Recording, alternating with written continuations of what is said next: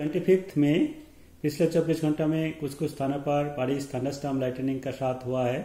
Highest बारिश हुआ आरगुरा में, रायगढ़ डिस्ट्रिक्ट में 65.0 मिलीमीटर कोरापुट का, कोरापुट में 50.0 मिलीमीटर कोरापुट डिस्ट्रिक्ट का जयपुर में 48.2 मिलीमीटर मैक्सिमम टेम्परेचर कुछ कुछ स्थानों पर स्वाभाविक से कम था।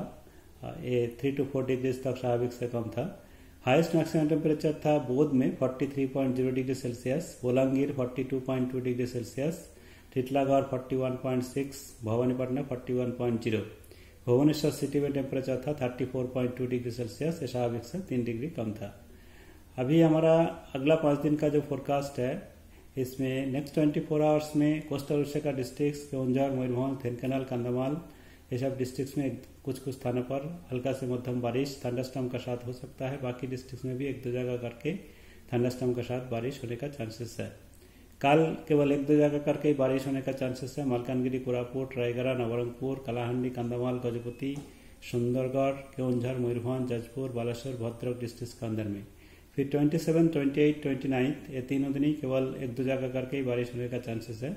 Mostly most of the places में ही ड्राई रहने का चांसेस है। अभी हमारा मैक्सिमम टेम्परेचर जो है मैक्सिमम टेम्परेचर अगला दो तीन दिन में ग्रेजुअली राइज करने का चांसेस है। इसमें दो से तीन डिग्री तक मेनी प्लेसेस में राइज करने का चांसेस है। फिर तीन दिन का बाद ज़्यादा चेंजेस होने का चांसेस नहीं है। भुवनेश्वर सिटी में पार्टली क्लाउडी स्काई होने का चांसेस है। इवनिंग व नाइट का तरह एक्टिविटी हो सकता है। मैक्सिमम टेम्परेचर 36 का आसपास रहने का चांस